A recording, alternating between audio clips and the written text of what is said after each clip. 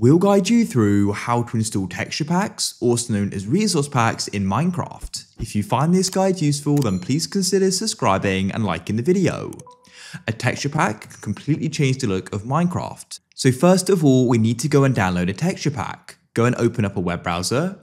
Now you may already have a pack in mind. If you do, that makes things super easy. You can simply go and search for it and download it. However, if you want to go and browse for one, which I'm going to go and do, a site I like to use is called Modrinth, but there are many other reputable sites out there as well. So come to the site. Once you're here, you can go and hover over discover content at the top and then select resource packs. As I said, they're also known as that from texture packs. And then what you can do is go and scroll through here and you can start to go and see the different packs that are available. Before we get any further, a big shout out to the sponsors of this video, Apex Hosting. They should be your go-to place for a Minecraft server. At the moment, you can get 25% off your first invoice. So if you're interested, I'll put a link down below. They've got so many awesome features and benefits like one-click install mod packs, DDoS protection, 24-7 servers and support so you can go and get the help anytime you need it, ultra latency and so much more so check them out. To continue with the guide though, go and find a pack you like the look of. For example, in this case, I'm going to go and get Faithful 64. Once you're here, you want to go and click on versions.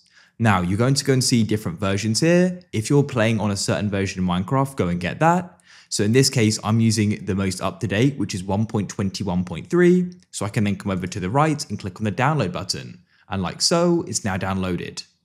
After you've downloaded the pack, of course you can download other packs as well, then what you need to do is come and return to Minecraft. So here we are, let me go and bring it back up. So in Minecraft, all you need to do is you can either go into a world and do this and pause the game and click on options, or from the main menu, just click on options, then click on resource packs. And in here, you need to click on open pack folder. So this is where you need to go and add your texture pack to. So you may need to go and open up another file explorer. To do so, you can right click on it and then click on file explorer and another will open. I've already got one here. And so then all I need to do is go and find the pack, which is this one here, Faithful. Yours would be called something different potentially. Then all you need to do is click, hold and drag it in. When you do that, it should then go and appear in Minecraft, as you can see. And so then all you need to do is go and hover over it and to go and then start using it and add it, you need to click on the arrow over to the left here and it'll go and add it.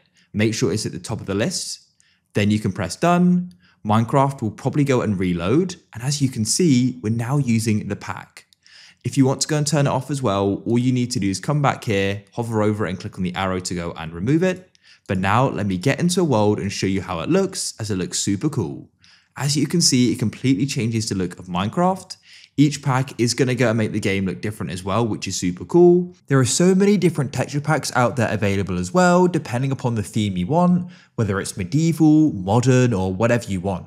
If you found this useful, then please consider subscribing and liking the video. We've got a lot of Minecraft content on the channel and more to come.